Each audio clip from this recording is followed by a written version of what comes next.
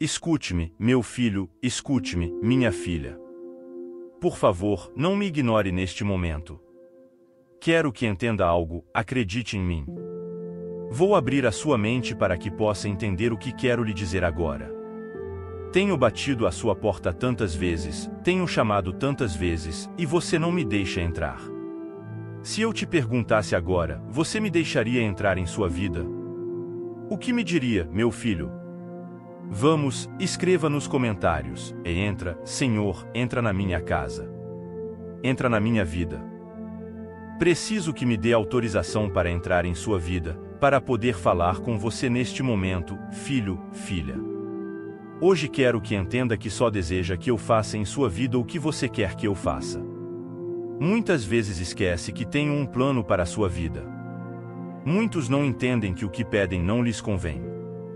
Ficam zangados, sentem que não os amo, deixam de orar, deixam de me procurar e até se aborrecem comigo. Quantas vezes pediu ao seu pai um doce, mas ele sabia que naquele momento não deveria dar-lhe o doce, e como criança, ficou chateado. Pense nisso. Seus filhos sentem-se mal quando sabem que algo não lhes convém e você lhes nega, não é verdade, meu filho? Escreva nos comentários. Verdade, minha filha? O mesmo acontece consigo. Eu sou o seu pai, eu amo você, eu sei o que é melhor para a sua vida. Quero que entenda que deve confiar na minha vontade. Confie em mim, confie no que tenho para a sua vida. Lembra-se do paralítico que foi curado e perdoado? Seus quatro amigos trouxeram-no a mim porque queriam que ele andasse. Os amigos dele, e nem ele próprio, sabiam o buraco no coração, o quão longe estava de mim. Precisava de ser perdoado para depois apreciar o facto de poder andar. O mesmo acontece consigo. Há algo interior, há algo superior que eu vejo, que você também sabe, se pensar nisso.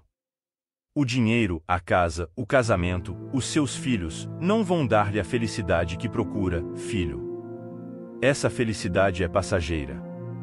No entanto, aqueles que me deixam entrar em sua casa, aqueles que são como o saqueador, desceram rapidamente e receberam-me com alegria. Recebe-me com alegria, meu filho, Escreva nos comentários, ou recebo-te com alegria, meu filho. Recebe-me com alegria, minha filha. Se me recebesse hoje, mudaria a sua vida, curaria as suas doenças, quebraria todas as suas cadeias, mas também lhe daria a verdadeira felicidade. A água que dou, aquele que a beber nunca mais terá sede.